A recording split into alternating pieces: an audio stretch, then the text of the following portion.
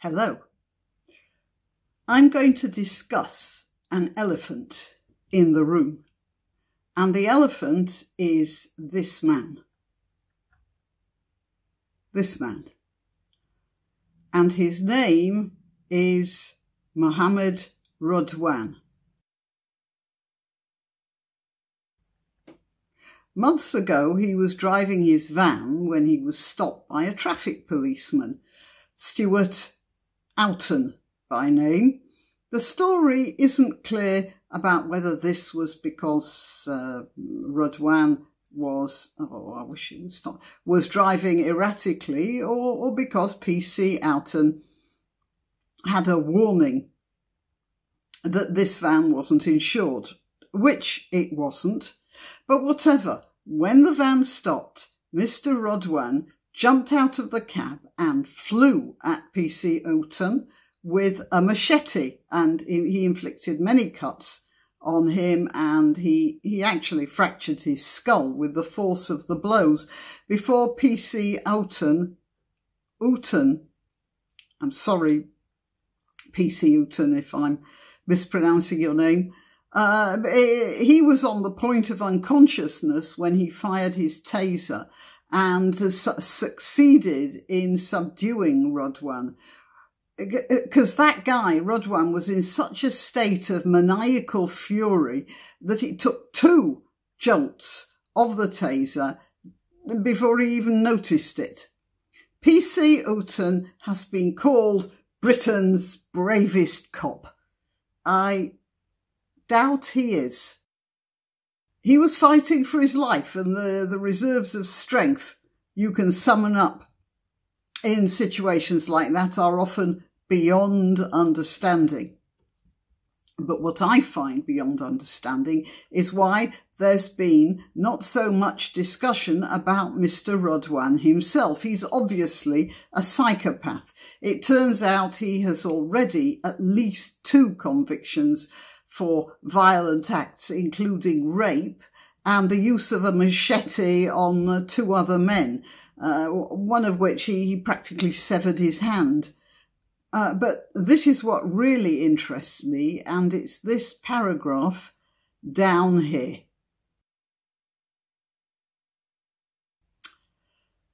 The handyman, who was previously known as Rodney Reid, and lived in his van, was jailed for nine years in 1997 for wounding two men in his flat in East London.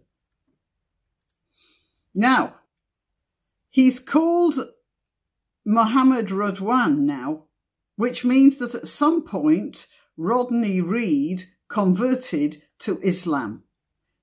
I'd say that this probably happened in prison Tommy Robinson and others have warned about the Muslim gangs which dominate some British jails and either force conversion to Islam on their fellow prisoners or make the environment so dangerous that prisoners convert just for a quiet life and some protection. Sometimes it's because they think the food's better.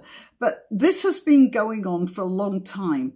Uh, here's a report from Christian concern. Let's see what it says. Uh, it's right in my way here. Um, officers at Britain's high security Long Lartin jail have received reports of Muslim inmates forcing younger inmates to convert to Islam, while a Muslim gang has begun to enforce Sharia law in the prison. Uh, and then uh, there's uh, there's this one here, which is from the Times. Oh, that one, by the way, was from Christian Concern. I don't know whether I said that. And this one is from the Times. Muslim gang leaders are orchestrating violence in top security jails, including administering beatings to force inmates to convert to Islam, a report has said.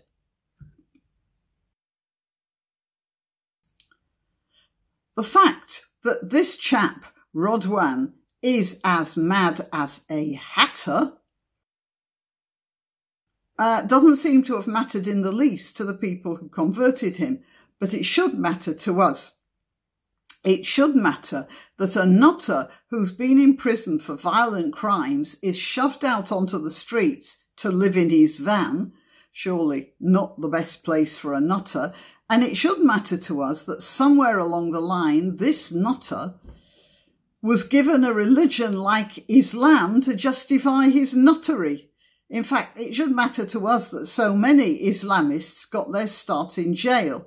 Uh, Khalid Masood, who was one of the Westminster Bridge murderers, he converted in jail, and apparently that's happened uh, to several others. And uh, by the way, it's not confined to the United Kingdom. This is, let's find it, an American study. Here we are. Trends in prisoner conversions to Islam. Islam is the fastest growing religion in Western prisons. It's the violent men in prisons who are being converted. 80% of all US prison conversions are to Islam. It includes, well, just about anyone. Annual prisoner conversions to Islam, 35,000. And I know America's a big place, but that's a lot of converts. Uh, percent Muslims in major prison systems, 18%. I don't know how many Muslims there are in America, but I think it might be about 5%, so that's very high there. I think it might be less actually. Prison conversions to Islam since 9 11, 420,000. That's nearly half a million. Hang on a minute, I'm just a uh, um, percentage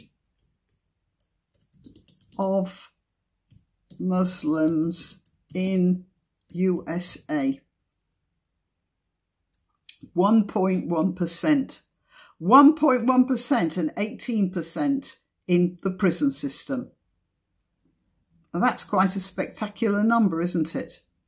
The, the, the thing is that the men who are in prison, both in America and in the United Kingdom, are there generally for being dangerous and most likely for being stupid as well. And they're absolutely the sort of violent robots that some people with an agenda would find most convenient to wind up and set into action. And, you know, it's not like it's a big secret. There are other things like the Rochdale grooming stuff. That was a big secret. But this, conversions to Islam in British prisons and obviously in American prisons as well, they're well known. They're being reported.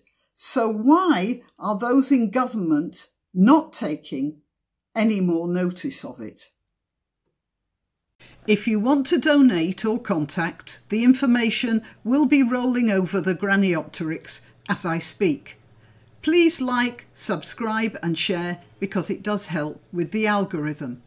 If you visit my channel on YouTube and one day discover that I've disappeared without warning, you'll still find me on BitChute or Minds. Just go to either of those platforms and do a search for Granniopteryx. If you're already watching this on BitChute or Minds, good for you. Meanwhile, if you're watching this on YouTube, remember that you must keep checking the subscribe and bell icons because occasionally they reset. Till next time.